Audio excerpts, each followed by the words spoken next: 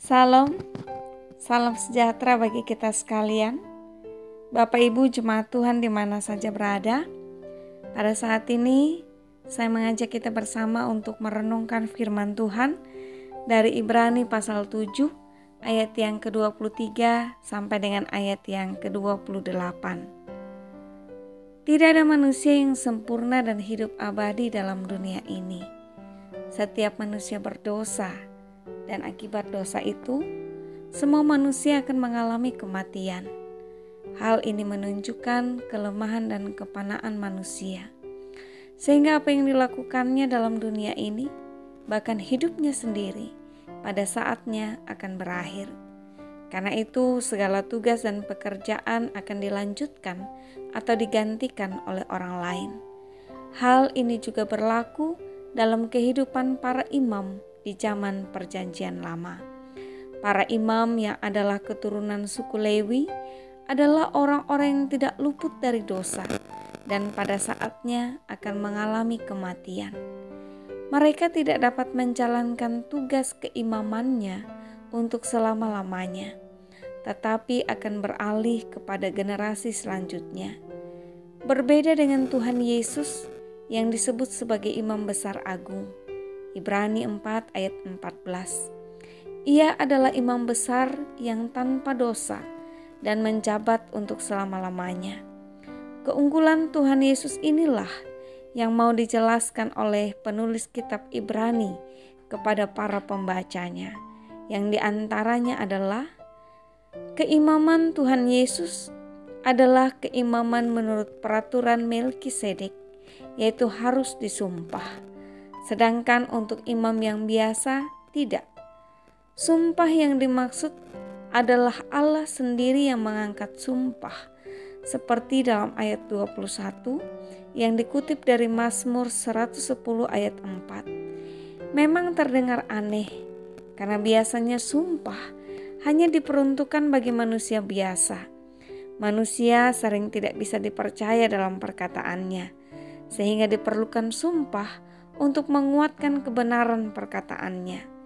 Sebaliknya, perkataan Allah selalu benar, sehingga Allah tidak perlu bersumpah.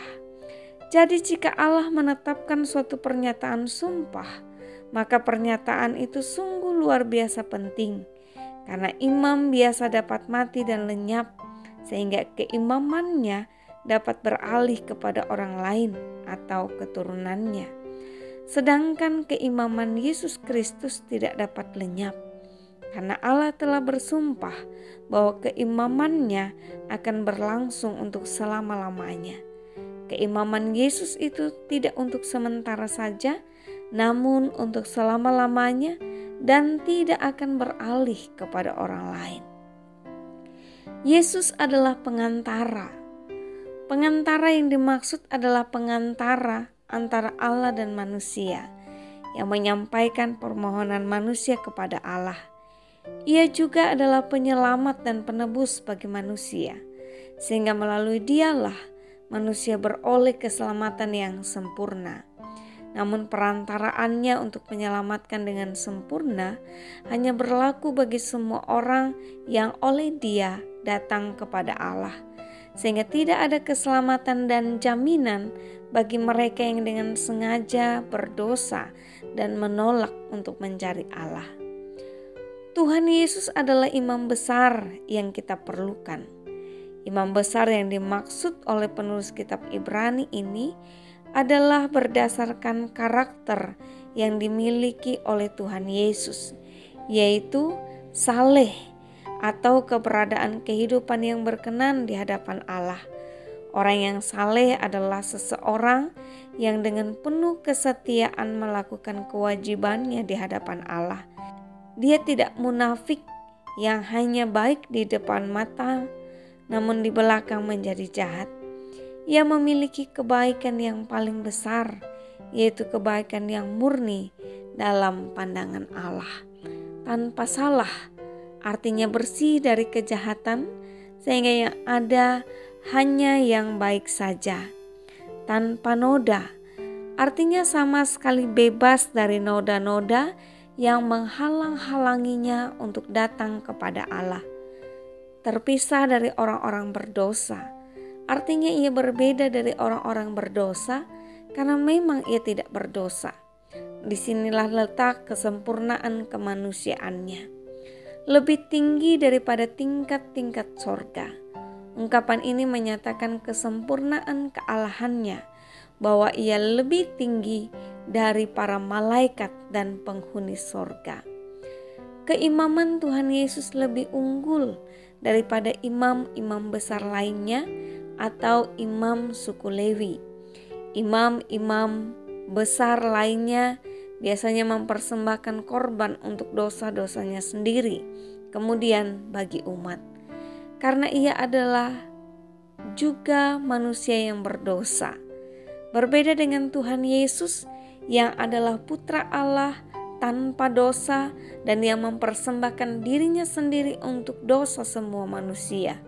Sehingga ia tidak perlu mempersembahkan korban bagi Allah karena ia sendirilah yang menjadi korban itu. Imam besar ditetapkan oleh hukum Taurat, sebaliknya imam besar agung yang diberikan kepada Tuhan Yesus adalah berdasarkan sumpah Allah. Saudaraku, jemaat Tuhan, dari uraian firman Tuhan di atas, ada beberapa hal yang menjadi perenungan kita bersama. Yang pertama, Tuhan Yesus adalah imam besar agung yang tidak pernah berhenti dalam keimamannya dan tidak tergantikan oleh siapa pun. Ia selalu ada bagi setiap perkara kehidupan manusia. Ia adalah Allah yang hidup, yang akan memberikan kehidupan yang kekal bagi kita. Sebab itu, mari kita membawa perkara hidup kita kepadanya dalam segala keadaan dan waktu yang tidak terbatas, karena Dia dapat membela perkara kita dengan sempurna di hadapan Allah. Dialah sumber pengharapan kita. Yang kedua, Tuhan Yesus adalah pengantara kita dengan Allah dan yang menyelamatkan kita dari dosa kita. Namun keselamatan itu hanya diperoleh jika kita mau datang kepadanya dengan sungguh-sungguh percaya dengan seluruh hidup kita. Artinya kita tidak hidup dalam dosa dan pelanggaran kita, tetapi melakukan perintah dan kehendaknya, serta meneladani karakternya.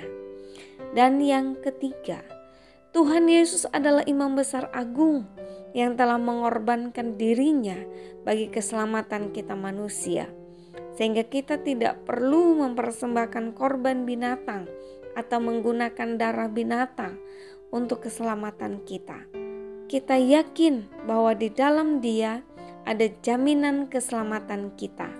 Karena itu, mari kita mengandalkan Dia di segala keadaan dan musim kehidupan kita, dan tidak mencari kuasa atau kekuatan lain di luar Kristus. Amin. Tuhan Yesus memberkati.